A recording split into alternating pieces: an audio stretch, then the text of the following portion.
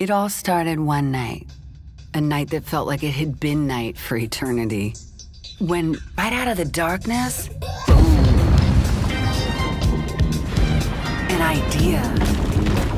The mother of all ideas. And I swear, the bigger this thing got, the more it started taking on a life of its own.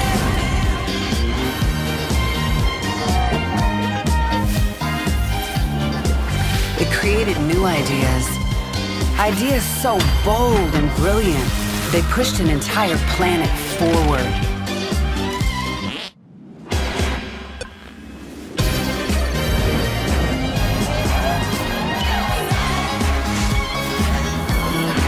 And now here we are, 32 trillion nights later.